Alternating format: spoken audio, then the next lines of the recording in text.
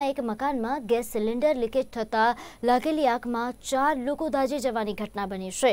ચારે દાઝી ગયેલા લોકોને તાત્કાલિક સારવારમાં ખસેડવામાં આવ્યા. જ્યારે બનાવના પગલે ગેસ એજન્સીના લોકો ત્યાં દોડી જઈ આ ઘટનામાં આગળની વીમા અંગેની કાર્યવાહી હાથ ધરવામાં આવી છે.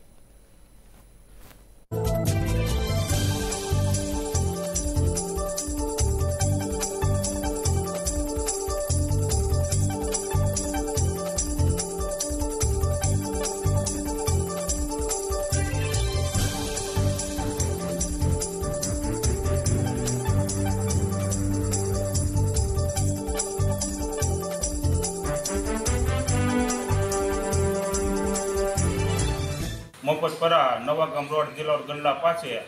આજ મેં બાટલો લખાવ્યો હતો. બપોરે બાટલો આવ્યો એટલે બાટલો ચાલુ ન થયો.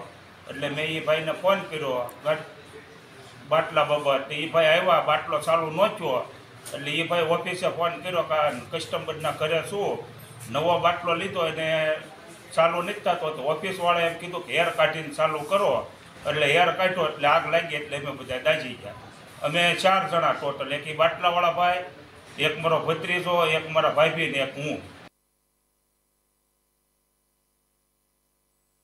હળવદ પોલીસ મથકથી બસો મીટર દૂર કોર્ટ પરિસર